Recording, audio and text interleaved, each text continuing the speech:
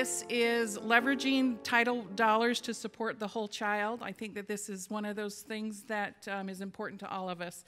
Um, how, to, how to fund it and, and actually how to support kiddos. Um, Jess Lawrence started her career teaching health education. In 2003, Jess was hired as the health education curriculum specialist for the Oregon Department of Education, where she provided assistance and professional development to health teachers across Oregon. In 2006, Jess pursued a career as a national school health consultant. As VP of Policy Program and Programs, Elizabeth Thorne led projects that drive system change through policy, research, and partnership. She was the adolescent health policy and assessment specialist for the Oregon Public Health Division and has advised on topics including suicide prevention and post postvention in schools, school-based health care expansion, evidence-based messaging for youth in post-marijuana legalization states, and advancing youth participatory action research. We'd like to um, welcome them. We'd also like to, on behalf of the conference, um, know that there has been a contribution made in your name to Black Girls Code. It's an organization that empowers girls of color ages 7 to 17 to become leaders in science and technology. If you want to learn more, go to blackgirlscode.com. And um, just as a small token of the conference's thank you. There's a little bit of water if you need it. And um, without any more, welcome. Thank you. Um, hi, everyone. I'm Jess. Um, thank you for that introduction. Um, as you entered in, there's a prompt on the slide. So if you didn't see that, you don't need to sit at the table where your state's ESSA analysis is, but if you could find the table where the plan is, go grab it, and then you can go back to your seats, that's great. Um, and if you didn't and you don't want to get up right now, we won't be referring to these until later, um, so you can, you can do it later. Um, so my name's Jess, um, and, and as I was introduced, I started my career as a seventh grade health education teacher. Loved it, taught in North Portland uh, public schools in Oregon, although I'm from the East Coast and um, a position to open up at the Oregon Department of Ed. At the Oregon, De- is this one working? You hear that? At the Oregon Department of Ed, um, working with a team of folks that was Center for Disease Control funded to really address school health. And it was a dream job in the sense that I will never forget a student named Charles. And Charles um, had some behavior um, things going on in my classroom, and we tried a lot of interventions.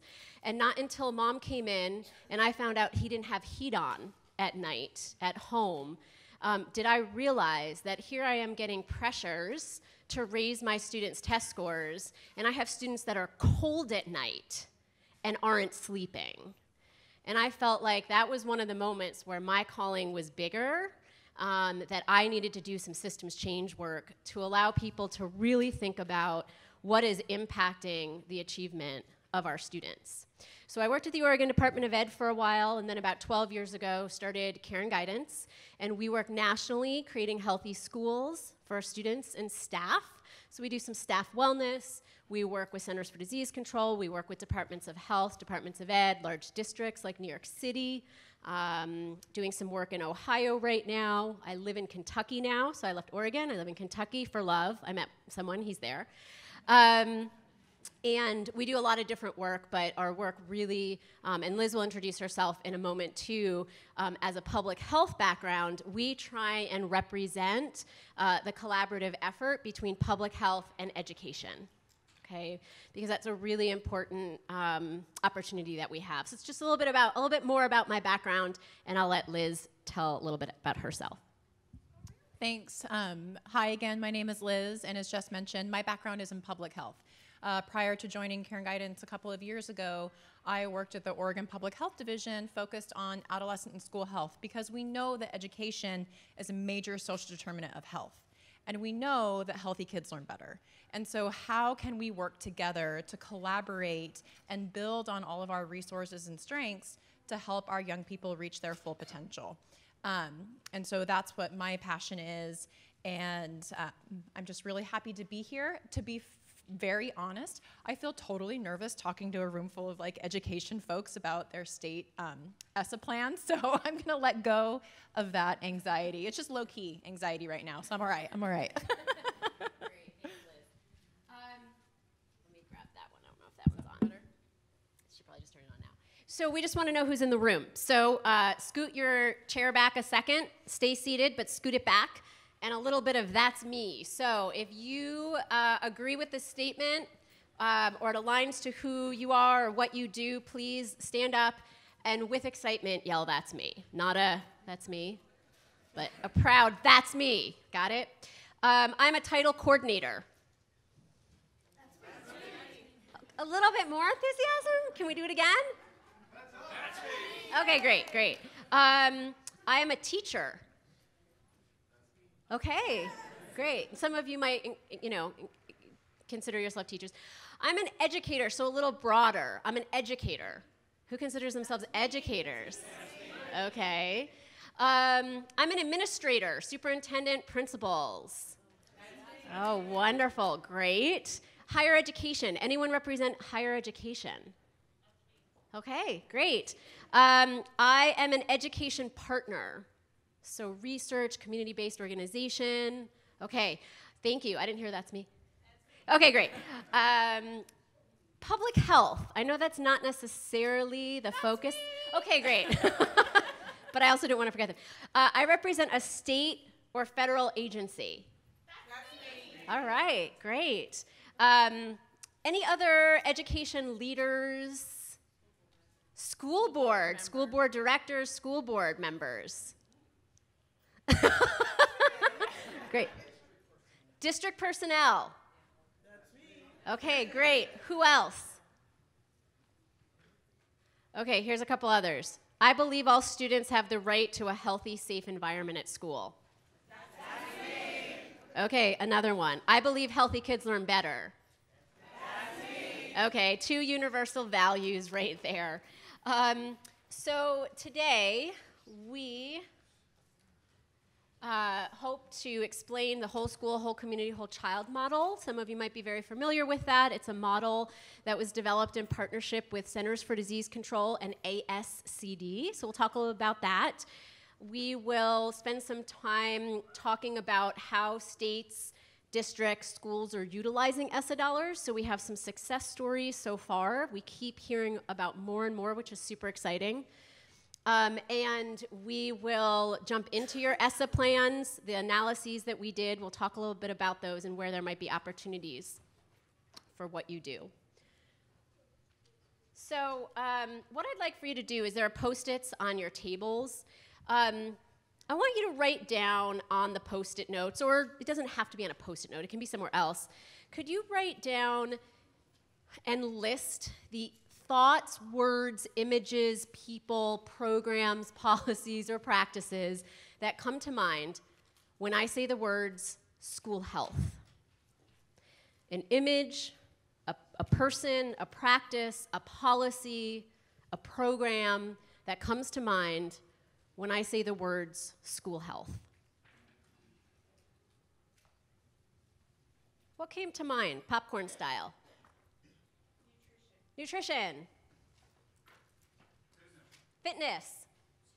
School nurse. Healthy lifestyles. Mental health. Resource centers. Recess. Social workers. Community partners. Access, homeless program. Trauma. Differentiation parents, safety, school-based health centers. Any other images, people, roles come to mind? Pro programs specifically? Any programs? Outdoor learning areas. Community schools. Social emotional well-being of students and staff. Wouldn't that be nice? Food service directors and programs. PBIS. What did you say? I heard administration. State and school administration. Restorative justice practices. PE teacher. Food, what program? Backpack, programs. Wellness team, school health advisory councils, awesome, okay? Those are all correct. So, custodial staff. You know, um, I actually did a, now that you mentioned that, I did a presentation. We, we facilitate a simulation, it's actually a board game um, called the Systems Thinking, Systems Changing Simulation.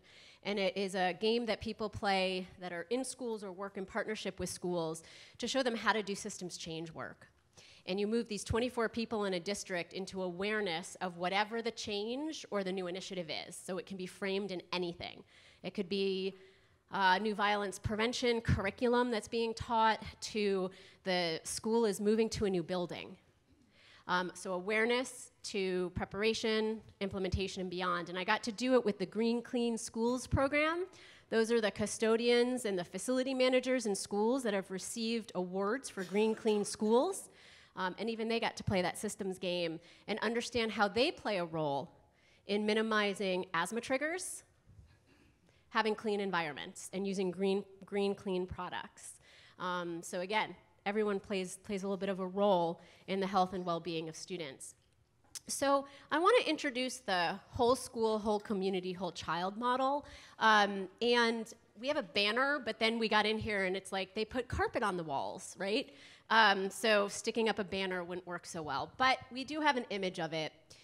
How many of you are familiar with the WSCC model or the whole school, whole community, whole child model? You've seen this before. Okay, a few people. So this is a framework that is kind of the second edition of a framework that was built about 30 years ago by Centers for Disease Control. And some of you might think of Centers for Disease Control and think, what? Those are just people in clean rooms dealing with viruses and bacteria. But there's actually a division of adolescent and school health and a school health branch within CDC that does amazing work to support school health and school wellness. Great group of folks there, and they fund, uh, currently they're funding 19 states to work on chronic disease prevention, and they are funding um, a bunch of LEAs, local education districts, on HIV sex education work as well. And CDC, uh, this group at CDC many years ago said, you know, we work with schools and we're public health and we look at schools and we think you could have the best health teacher in the world. It doesn't mean that your school is a healthy school.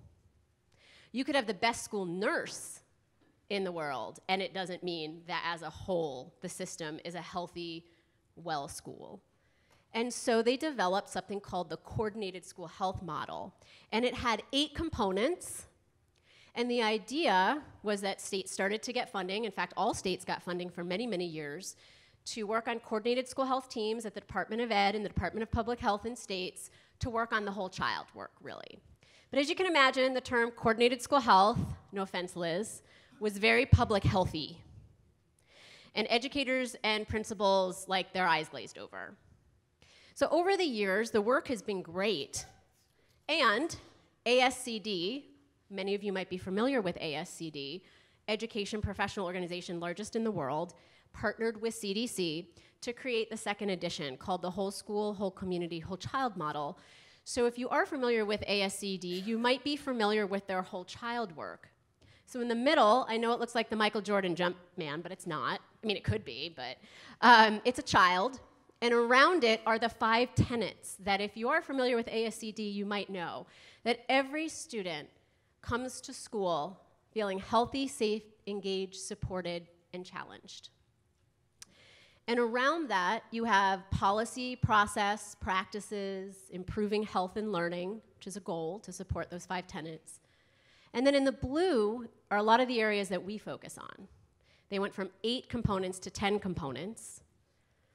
And in those, you have a lot of the roles, programs, ideas, images, thoughts that all of you shouted out. You have your physical education and PA, so you have your PE teacher. Also, I heard recess, I heard fitness, so that all fits in there. We have health education, curriculum instruction. We have food service, nutrition services. Um, we have health services at school based health centers and school nurses counseling, psychological, social, social services. So you have your school psychs, social workers, counselors, partners of mental health.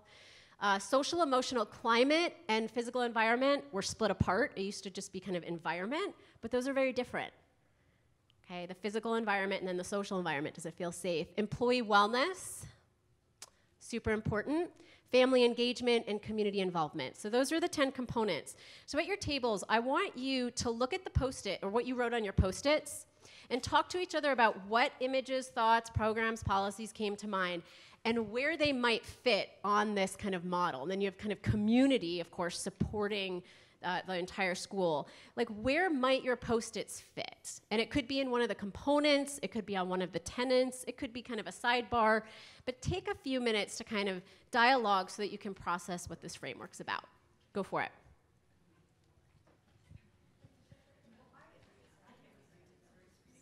So, did you find some alignment with some of your examples? So, everything you said, all the examples you gave, fit into the model somehow, right? Now, you might say, great, Jess, that's a great looking framework, but what does it mean in practice? Okay, and I can I could spend a whole day telling you the work I'm doing in Ohio is with seven school districts. Um, they got some money in Ohio around opioid prevention, and instead of just doing a curriculum, they decided to work with schools to do mental emotional health, social emotional learning institutes, and that's what we're kind of doing through the systems process and really using this framework and model. So I want to just briefly explain to you what this framework means to me, because it really means two things. Number one, collaboration. That the different roles and titles and people that lead these different components are working together.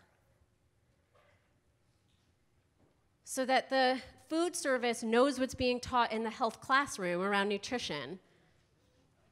Okay. So that, you know, when, I don't know, students are learning about puberty, the school nurse knows, right? That would be important. All right? So, you know, we're, we're really trying to make sure that people are collaborating and working together and not in silos. And there's a lot of reasons we work in silos capacity, time, someone's out in a portable, we've been educated in our field, that's it. Um, but how do we break those down to collaborate more?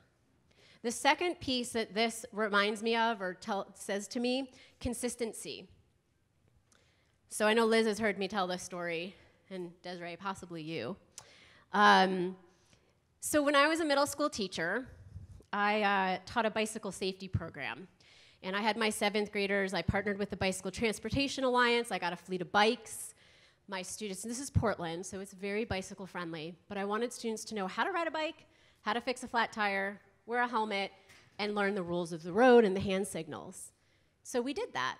And some of them had to learn how to ride a bike, etc. So I was kind of the crazy bike woman. Like I biked to school, and one day I forgot my helmet on my way to school. Now, legally, I'm over 16, so I don't have to wear my helmet, but I sent an inconsistent message. Here I am teaching them bike safety, and I forget my helmet. Okay? That's one example, because um, students saw me. Second example which I love. So this is home, this is Portland, home of Nike, Adidas, Fila, Columbia, right? Like just crazy sports apparel companies. And one day, I happened to put on a Nike sock and an Adidas sock. Seventh grade, I had like six kids call me out for cross branding. No joke. So if they can call out the inconsistency of me not being able to match my socks, they definitely know that the only time school cares about their health is during April, during state testing week, when they're supposed to get sleep and eat breakfast that one week. Okay? Or the only time they can go to the school nurse is on Thursdays because the school nurse is actually only there on Thursdays. Or they get recess maybe a couple of times a week. Those are inconsistent messages. What messages are we sending our students about the, their health and well being? It's pretty poor. Okay? So I just ask for those of you, especially in leadership, to think about you know, no school is perfect. But what are the inconsistent messages that we send our students and our staff about their well being, their mental, emotional health, their safety, their food, the food intake, the physical activity and movement they get? And how can we be move the needle just a little bit to send a message that's a little bit more consistent? Because students, they get it. If they can pick up on the socks, they can definitely pick up on what messages they're getting from their administration. So, this model to me and this framework and all the work that's really based in kind of our work is really about collaboration and consistency. So, I'll pause there and see if there are any questions before I hand it over to Liz. Any questions, comments, thoughts about the, the framework and the work of really the whole child? Okay. One thing um, before staff wellness. Today's not about staff wellness or employee wellness. Um, but I know that Robert Wood Johnson Foundation, uh, an organization that we've done some work with, was contemplating, and I need to see if they really are, if they're doing this, contemplating doing research on the link between teacher mental health and the academic success of their students. Mental health being defined as sleep, support, and stress. So, things to consider as a leader. And sometimes when you build logic models and you have all these outcomes of student uh, academic success, test scores, graduation rates, um, those are the outcomes for sure. But some of the activities that we can do don't look like they directly relate to those outcomes, but they do. So just consider that piece as well. That's a staff wellness and employee health is also a great hook and buy-in to creating a healthy school environment is taking care of the staff. Great, thanks, Jess. So we're going to switch gears here just a little bit. Um, and I'm going to talk to you about some of the work that we've been doing around the Every Student Succeeds Act, or ESSA. So most folks are probably very aware of this, but just a little bit of a refresher because typically we're giving this presentation to health, you know, quote unquote health audiences. So we're really excited to be here um, in front of you all today. Just really quick background, the Every Student Succeeds Act was passed in 2015, signed by President Obama, and it did a number of things, but the major thing that it did was kind of the pendulum shifted from the really you know, prescriptive No Child Left Behind to providing a lot more flexibility for states to determine their strategies. And so, folks kind of in our world, in the school health world, or those that think you know, broadly about how we support the whole child to be successful in school, saw some really important opportunities with the passing of ESSA. So just to go over a couple of them briefly, um, it, it changed, and, and also prior to this, it was really hard for folks to access title dollars for anything beyond the very prescriptive, you know, core subject areas, right? And so now there's this opportunity to access title dollars for some broader supports for students.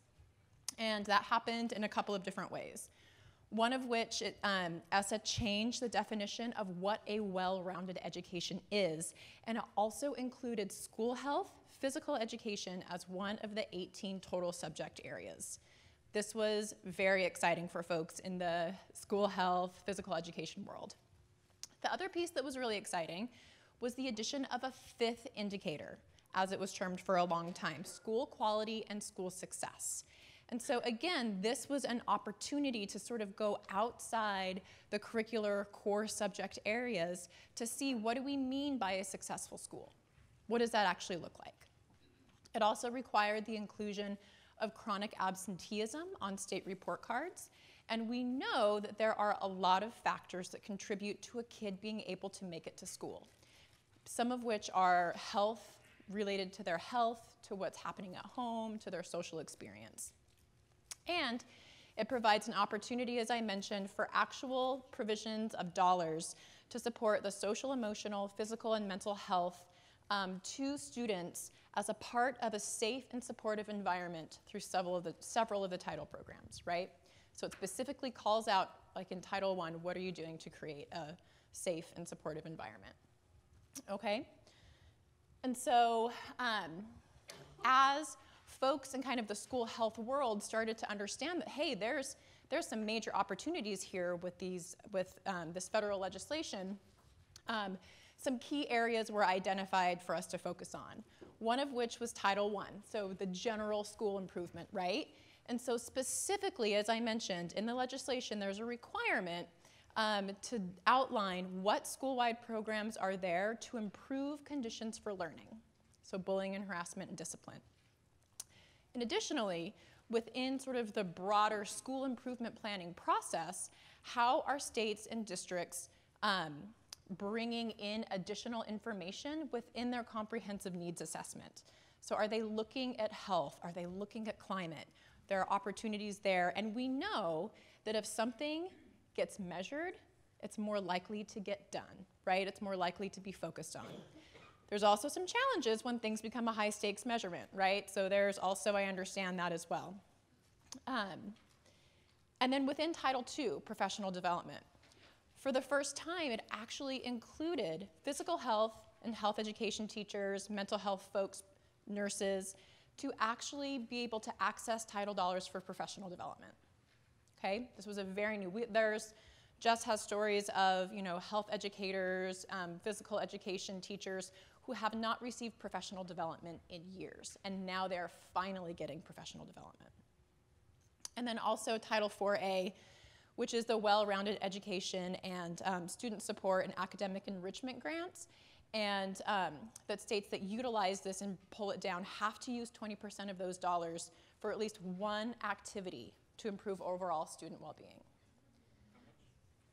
20%. percent mm hmm So those were kind of the key areas that we really started to zero in on and focus on as it relates to the Every Student Succeeds Act.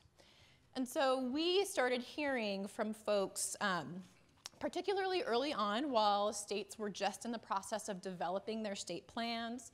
We heard from local folks, either at the district, um, national organizations, trying to understand like, we need to be able to help people provide um, some key talking points for them. Support them in advocating for supports for the whole child um, with Every Student Succeeds Act. Many states, another big part of ESSA was that there had to be a large amount of community involvement. So states went on like year-long listening sessions around their states to develop their plans. And so we um, started some work to actually review every state's ESSA plan. And it was an, initially started as that advocacy tool at the local level. And so we really zeroed in um, on a couple of things. We used the WSCC model as our framework to look at every single state plan plus DC to see how that state plan is working to address and support the whole child. And so as I mentioned, we looked in those key areas. So we looked at what their indicator was for school quality and school success. We looked at school improvement planning, their comprehensive needs assessment, what they're doing related to school conditions, and bullying and harassment. We also looked at professional development.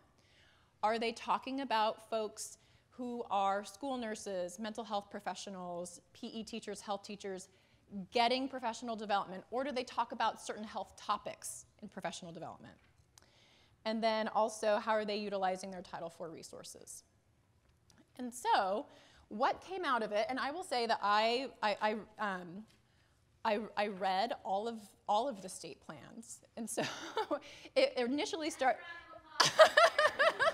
it initially started as a support for, for folks while the plans were being developed so they could give feedback, but it ended up being like all of the plans were already submitted and I was still reviewing them. So So this is us wanting to share it out. So all of the state overviews that you have that you see on the table that you were able to pick up, they're all available online too. So you can go to our website and you can pull down the state plan. And as you see in the plans that you've accessed on the table, um, we sort of break out by each of those title areas, by each of those titles, um, what is present in that state's plan. So you'll see in what's their accountability measure, what do they say around school improvement, what do they say around professional development, and what about well rounded education. And then we offer some reasons to cheer because, again, this was originally started as an advocacy tool. And so we wanted to really arm folks to go to their school boards, to go to their state boards of ed, and say, hey, it's really great that we are talking about school climate in our plan, um, but here's some places where I think we could strengthen that, or here's my thoughts on that. And then we included some opportunities for improvement. So that is kind of what the evolution of these tools looked like. And then once all of the state plans were done, it's like, huh, well, why don't we zoom out a little bit and just take a peek at what, and see if we can see any themes or see some findings from all of these state plan analyses. And so that's what I'm going to share with you now. But before we proceed, um, I want to give just you know a, a little bit of caution before we go into some of the findings from the analyses. The U.S. Department of Ed did not require a great amount of detail in these state ESSA plans. And so just, and so you can see where my like low level anxiety is to present on state plans to you all, because it's like somebody from their state's like, hey, we said, we didn't say that. That's like my low level. Um, so just because it's not written in the plan or you don't see it on your state overview, it doesn't mean the work isn't happening. We know that, right? And the flip side to that, a plan is a plan. You could have the most brilliant state plan. But if it is a state plan that has no support, no resources, no leadership buy in, um, no champions at the district level, it's just a beautiful plan. So um, hold those pieces in your mind while I share these findings. And then also, you know, we looked at health really broadly. We didn't come in looking at just mental health or just looking at physical activity and physical education. And so there could definitely be some variation. If somebody else were to read all the plans, they might see something different because they're bringing their own lens. Okay? All right. Um, and again, these are just really high level findings. I'm happy to follow up with folks if you want more details, if you want to see, you know, the spreadsheet with all of the different information from all of the states, I'd be happy to share that work with you. Um, so you, we can follow up afterwards. Um, but not surprisingly, uh, I think probably for most folks in this room, chronic absenteeism or attendance was by far and away the most common indicator for school quality and school success. And um, it is an opportunity for folks working to support the whole child because there are a lot of health reasons why kids can't make it to school. But the challenge I have found with chronic absentee absenteeism and attendance is that the data doesn't tell us why. It just says that they're not there. So it requires some additional digging into what are the root causes of these young people not making it to school. And also, it can sometimes lead to a sort of butts and seats approach, where a school resource officer is driving around getting kids into school and not necessarily addressing root causes.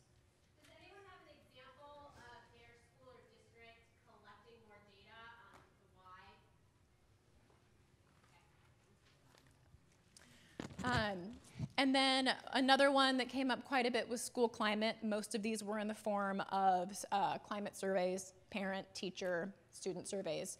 Um, but one indicator I wanted to spotlight, anybody here from Iowa?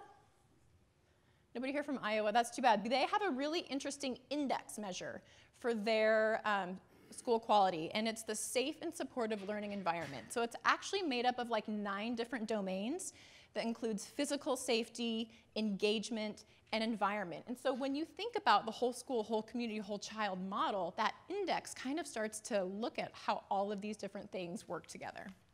So I thought that was really cool.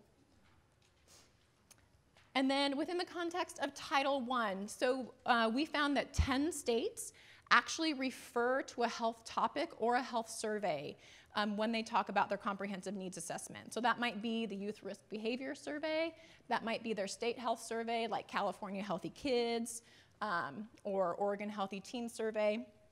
And then the interesting piece around school improvement planning there were nine states that specifically called out a health component as a piece of school improvement. But there was some variation in what that looked like. Some states might say, you know, you need to look at climate as one of the pillars of school improvement planning and turnaround planning. And then there are other states like Arkansas and Tennessee that actually have either state legislation or a state board of ed policy that requires a health topic is included in the school improvement plan.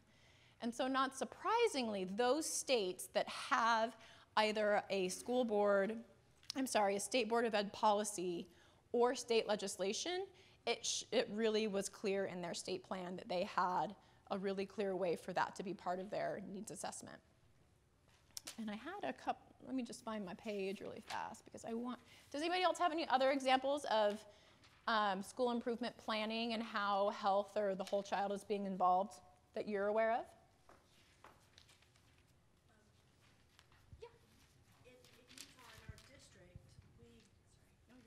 Our Utah, in, in Utah, in Ogden School District, we actually um, started this year giving our students this a social emotional learning survey three times a year. We just implemented the second um, giving of that um, survey, and we utilize that data to form our actions. And it um, social emotional learning is one of our four anchors as a district, and we're refining our school plan template to reflect the four anchors. So we are headed in that direction. That's great. That's a great example. Another one right here. Hello, everyone. Um, I'm in York City, Pennsylvania, York City School District, and we have a, a bunch of trying to address the whole child, but I'm going to focus on our PBIS team who are just phenomenal. I'm just going to put that out there. This is my first year as the head principal of the building, and the work that they're doing with the whole child. Um, our team includes our behavior specialists, our social workers, a member from each grade level, and we do have a K to 8 model building, so there are some severe issues with that. Um, and, but the social emotional part, we have in-house counseling, we're doing group sessions, um, and I just got a great idea from one of the other sessions about lunch bunches that will kind of extend upon that social emotional because we do have a huge poverty, I mean 100% free lunch um, minority, and a huge L, 38% in my building for ESL. Great, those are all great examples. Um, a couple other ones I want to call out. Is anybody here from Michigan? Michigan State Plan was super interesting because they actually anchored their entire plan within the whole school, whole community, whole child model. And so they are going through a process of revamping their comprehensive needs assessment that's required as a part of Title I to be a whole child needs assessment. And so I haven't seen it exactly what it looks like, but those words are exciting words. Um, and then let's see. Yep, I think that's all I want to say about those pieces. And so somebody referred to uh, PBIS um, within Title I school conditions. Nearly every plan referred to multi tiered systems of supports. Like that is clearly the prevalent model.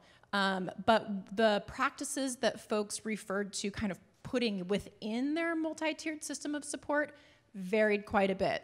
There was everything from PBIS to restorative justice, social emotional learning, early warning systems, trauma, um, youth mental health first aid. A lot of states referred to some federal grants that they might receive, like Project Aware from SAMHSA, school based mental health services. So, really, just a huge gamut. And um, the take home from this is that by far and away, I don't think this will be surprising to anyone, mental health and behavioral health was the most noted need. Um, and at least 37 states mentioned some aspect of comprehensive school mental and behavioral health in their ESSA plan. But it's tough because it's a plan, and in some, it's like literally just a list of all of these different programs. So, what that actually means for resourcing and support is a question.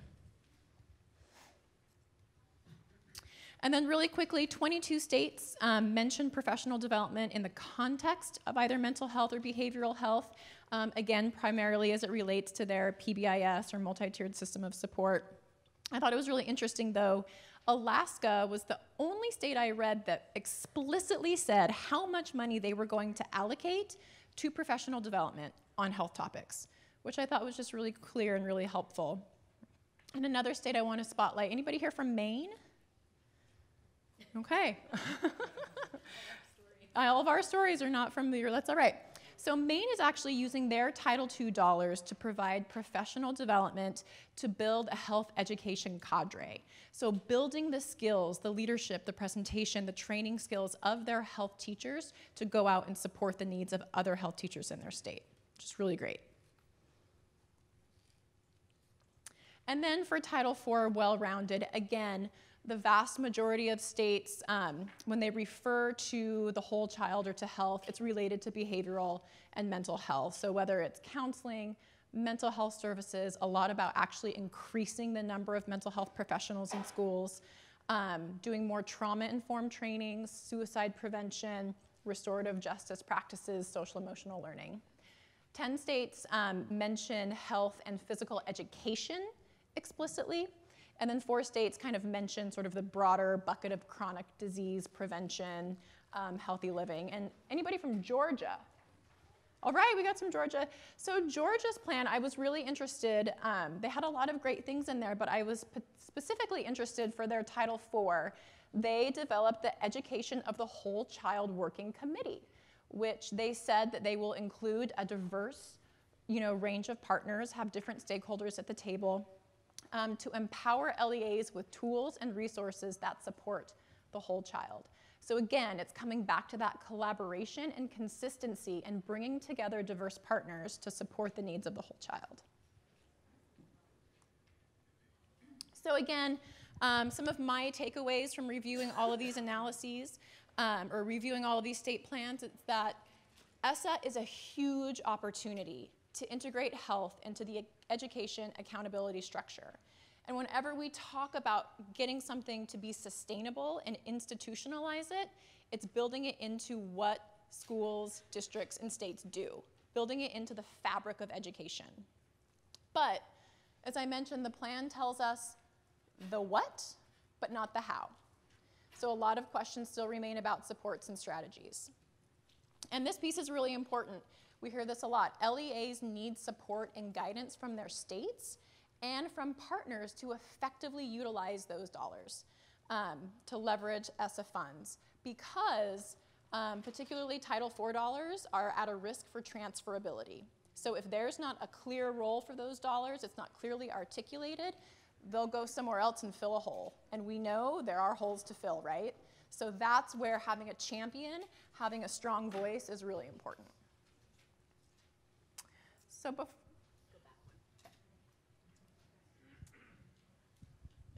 You've been sitting a while, and I'm a seventh grade teacher. So um, stand up if, you, if you're able and uh, create some space around you because we're going to do just a little energizer. Um, I don't like to call these brain breaks because it's not a break for your brain, it's actually a booster for your brain. And when we call them breaks, that doesn't really talk to, it's really an intervention to allow students to, to get energized. So you've been sitting a while, so we're gonna do a little swim. Did anyone in here competitively swim? No one? Oh, we have a few hands, okay. So in swimming, an IM is not an instant message, it's an individual medley. And um, we're gonna do a little IM. So before swimmers get in the water, they shake it out. So just kind of shake it out. Beware of your coffee and your part, people near you so you don't give them black eye.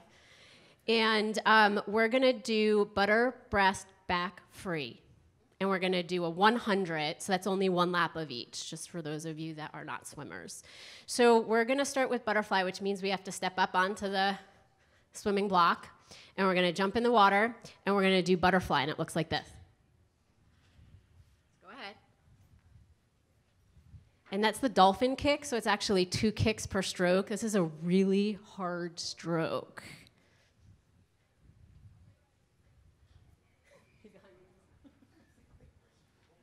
Your arm's getting tired? Okay, okay, we're at, we're at the end. So butter, back. Don't hit anyone. Flutter kick, if you want to pretend that you're on an island, just kind of swimming in Caribbean water instead of a pool, that's fine.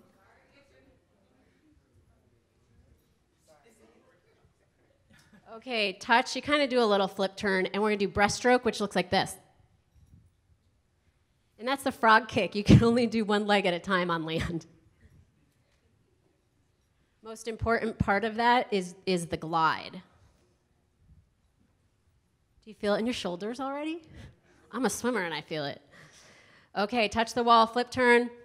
Front, uh, sorry, freestyle. Most people do the front crawl, but if you really want to doggy paddle it or like be on your back, that's fine. So last one is freestyle.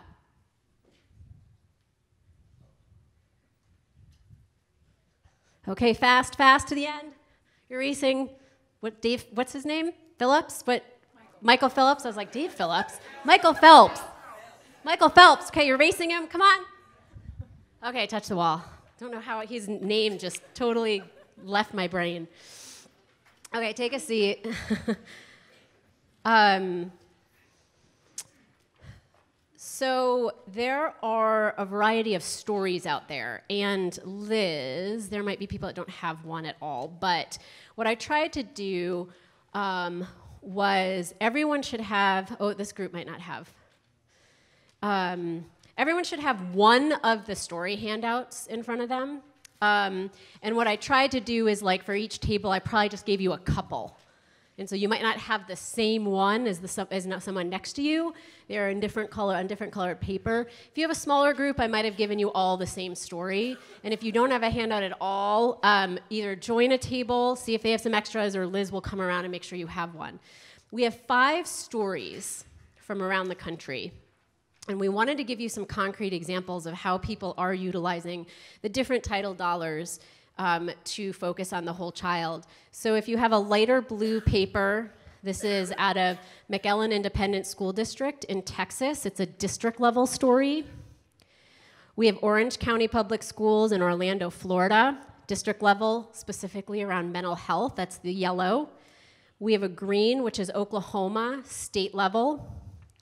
Um, my state of Kentucky, the darker blue, um, Fayette County, that's Lexington, has a story about supporting Title II and Title IV um, health and PE teachers through those dollars. And then we have Alexandria City Public Schools and that's district. And so what I want you to do right now is take some time. There probably is someone at your table that got the same story as you. That was like my goal when I was handing them out.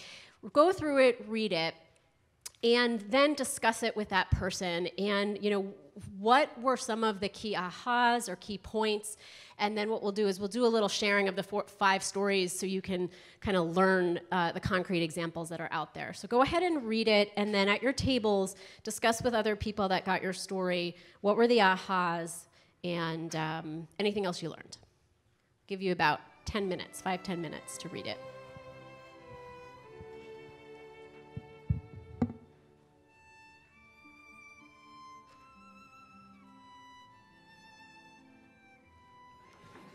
Okay, I'm going to bring you back.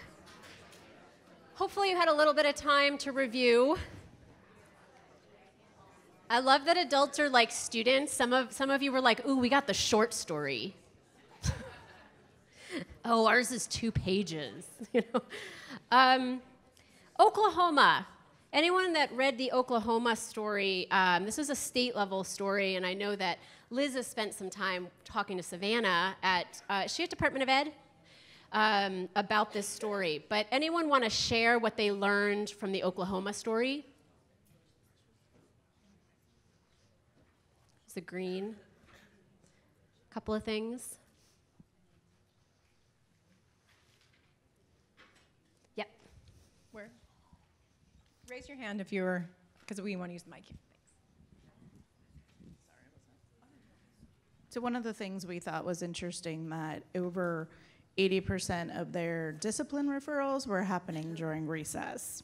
So they then, um, can't see without my glasses on, they um, decided to use the Title IV A dollars to utilize what was called uh, Playworks, which was a recess mod, mod module to train uh, teachers, student leaders, and community members to provide additional support and guidance during recess and transition time. Great, thank you. Liz, you want to add anything about Oklahoma since I know you've been talking to Savannah quite a Yeah, bit? Yeah, I mean, I think the thing that's really interesting about Oklahoma from the State Department of Ed level, they have um, organized their entire Title IV um, grant, well, a little bit of background. So 2018, Title IV um, was underfunded, and so states had the opportunity to either do a competitive grant or continue sort of formula funding. And Oklahoma was one of the states that did a competitive grant. So with that, they had a little bit more control um, of how those dollars were used. And so they organized that grant program um, into what is referred to there as programs of excellence. And so there are indicators and rubrics for their Title IV grants that are directly aligned with the whole school, whole community, whole child model. So there's a little um, screenshot in the green sheet that's like health education. He, you do a little assessment, and you're either bronze, silver, or gold. And so then districts and schools can have as part of their goals, as part of their work plan, we're going to move from bronze to silver in this area. So that was a really cool thing. And then as they shifted, um, now that Title IV was not underfunded, it's all part of the consolidated state plan. Um, the district, I'm sorry, the state did a lot of technical assistance, did a lot of listening sessions with LEAs about how they can use those title dollars to support health. Great, thank you. Um, let's go to McAllen Independent, Texas, district level, blue sheet. Anyone want to share briefly about Mario's school district? Mario tapped into a wonderful resource. I mean, it looks like uh, McAllen certainly was interested in getting their piece of the pie and the Title IV dollars, but they didn't know really how to approach that. But they found an advocate. Uh, they connected with their local legislator and um, in their state uh, congressman, Mr. Gonzalez and he really pursued and took a process at how to researched and he took a process as to how to uh, obtain these dollars and then i was really impressed that once they obtained the dollars then he really researched how best to demonstrate the use of these dollars so that um, it could be reported and they could apply for additional funding. And I thought this was quite a story. Mario tried to get here when he heard we were sharing his story, but his district was like, they're sending him to Shape America Conference, which is the Health and PE conference. So that's great. Um, um, but yeah, Mario's doing some great work there and has continued to make the case how we're utilizing the doctor dollars. And I think he's asking, wanting to ask for more dollars in, in coming years and has already a, has a plan for that. So that's great. What about um, Orange County, Florida? That's where Orlando is. It's the yellow sheet. Anyone want to share a little bit about that story?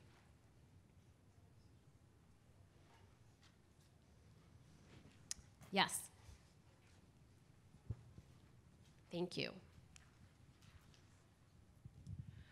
Well, we found that um, one of the key things as they were trying to go forward with their initiative was they were looking to make sure that they had good ground level buy-in for every step.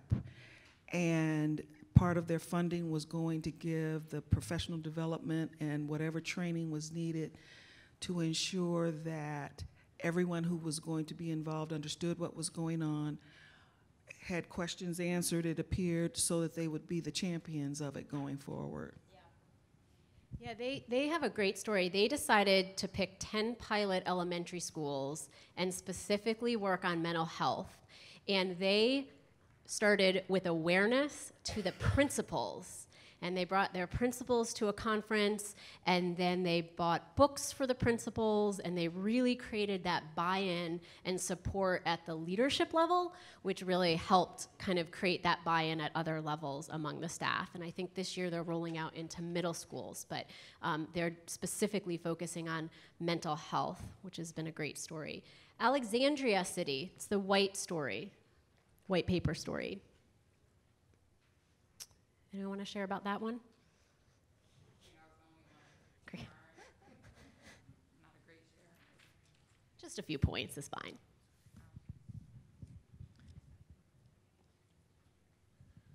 All right, so the biggest point with the Alexandria City Public Schools is this administrator um, went right to a person. So I'm gonna give one of the presenters hope for helping me pick that out at figuring out how to use his Title IV monies and how to continue to ask and beg those who had the secure hold on the funds to allocate them to his building. Um, he had like different things going on for the elementary, catch a rainbow every day, which I've never heard of, so I need to look that up. Um, and he used his PBIS team. So that's that's what I took from it.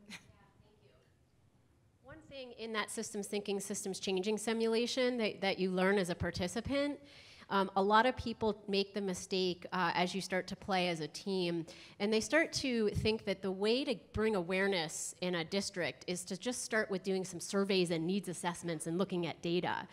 And unfortunately, that's not the first step. The first step is building relationships. We kind of forget about that sometimes. Here I am as a Portland, Oregon girl, now living in Appalachia. Think about, uh, well, originally Connecticut. All my family's Brooklyn, okay? And I live in the county where Kim Davis was my county clerk. So she wasn't issuing the marriage licenses. You might have heard of her. So my culture shock was, was quite extreme, as you can imagine. And so I, I, here I am, I drive a Volvo in Appalachia. I look different, I act different, I sound different. The minute I open my mouth, I'm Jewish. Oi. so I knew, though, that the way to create buy in and trust was to build relationships. So my way in was not to go to the knock on the district and say, "Hey, I'm here. Utilize me pro bono. Like I am at your like I'll do whatever you guys need me to do. I live here. Happy to train the health teachers or work with the PE teachers or talk to the school nurse. What do you need? I'm not going to do that because they just don't have that trust yet.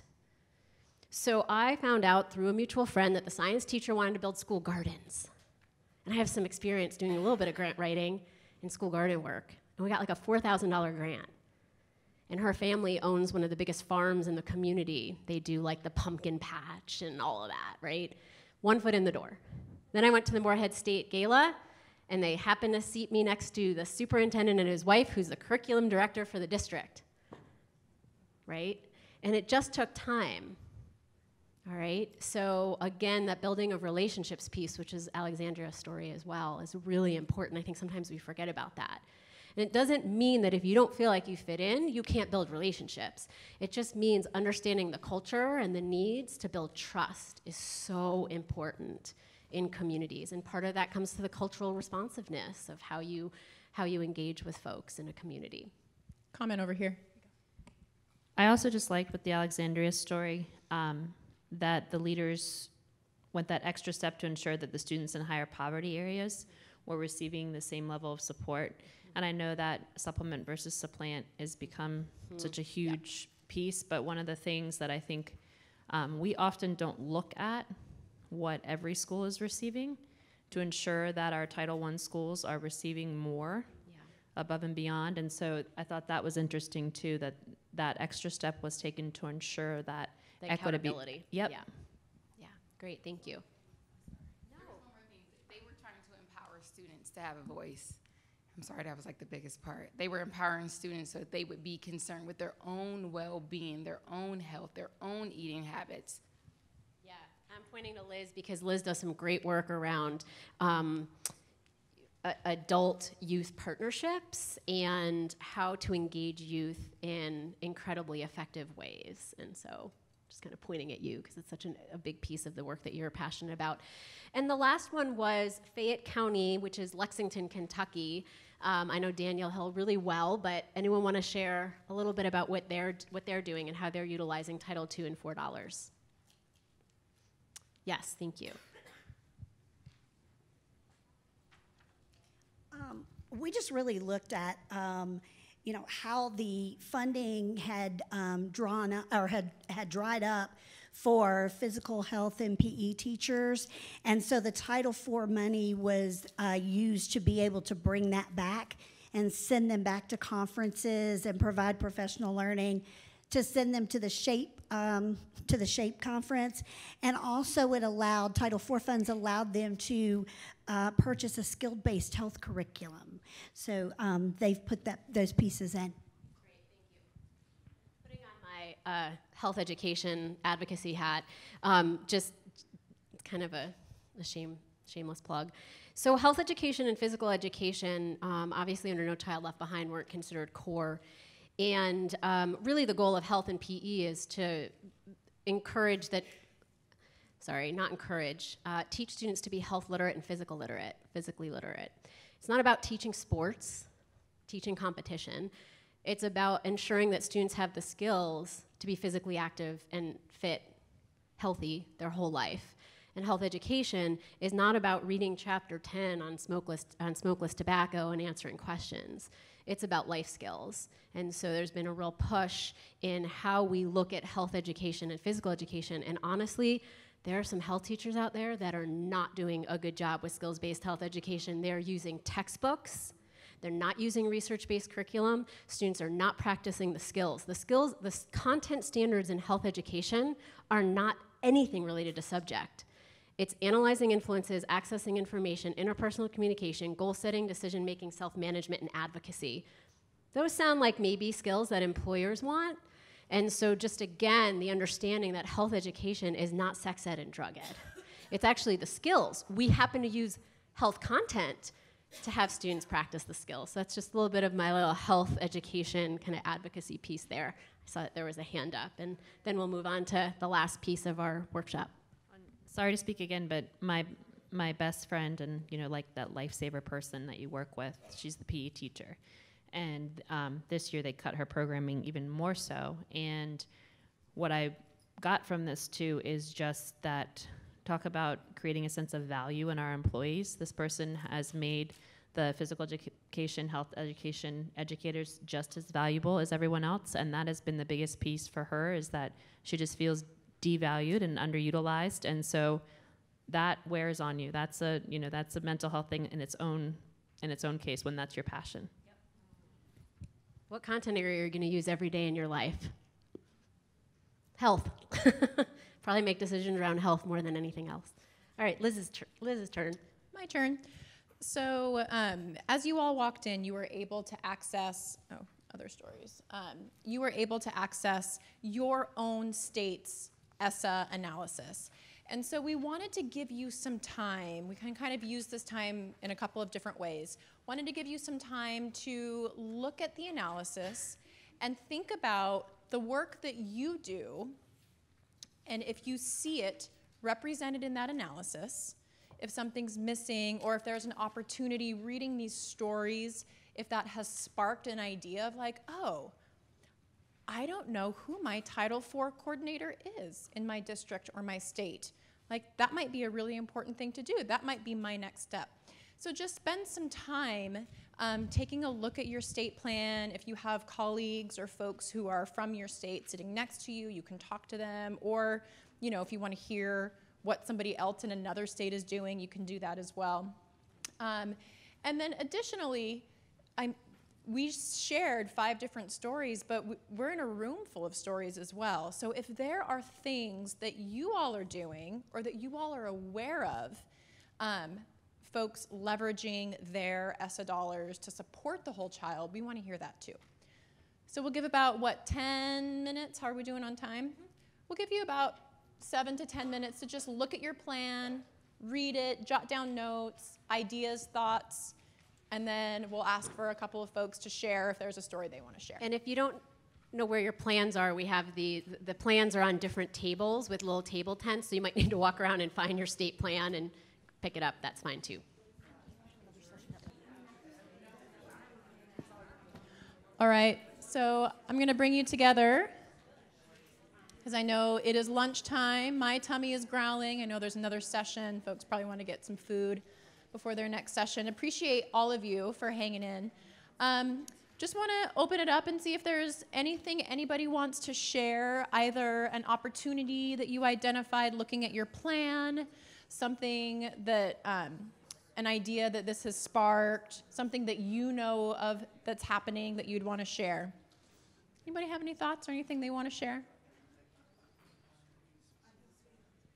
Oh, right there.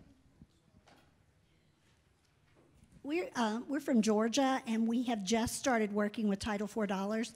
And I think one of the speakers mentioned this a few minutes ago, but if that money is not um, really planned out well, it will be transferred and it will take on something else. So, as important as it is that we get the funding, it's also important to have a plan for that money because, you know, it just it'll be put in a hole somewhere. That's exactly right. I think that was something that was a huge learning for me too, is this idea of transferability. And it's like, yay, flexibility and openness is great, but that's got to be balanced with some guidance and structure, right?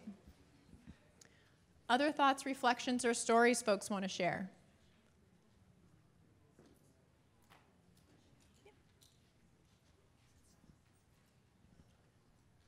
Thanks.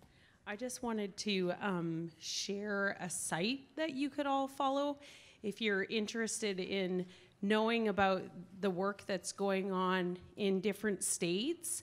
The Collaborative for Student Success is a great one to follow because you um, get updates to all the news and views. See, I knew you two would know it. Yes, the ESSA Advance is great. It will give updates on what states are doing, um, stories, so that's a really great one to follow. I appreciate that. Yeah, ESSA Advance. If you Google that, you'll find it. I'm sorry, we should have a resource slide. I just, I'm realizing that we don't have a resource slide. put the five stories up um, through the app or the site so that you have access to the five stories. Uh, we'll make sure that's there. We also um, developed a checklist at the school or district level, like, okay, I saw my state plan, what's next? You know, like, I, I see my state plan, but what does this mean? And it's a checklist to say, like, who's my Title One coordinator, my two coordinator, and what questions to ask. And we have that checklist as well. So we'll, we'll make sure that that's up as, long, as well as the, the PowerPoint's already uploaded, um, attached to our session, but we'll make sure to get the stories. We're not going to upload the 50 things because you can get those off the website, but um, we'll do the stories and that checklist as well. uh, our website. The analyses are available on our website. So just kind of wrapping up, um, as Jess mentioned, we've developed a checklist for LEAs. Um, but just some questions for you to consider as you go back home to your community, to your state, to your district, to your building. Um, who are the title people at your state Department of Education? These are some questions to think about how you go and implement this work.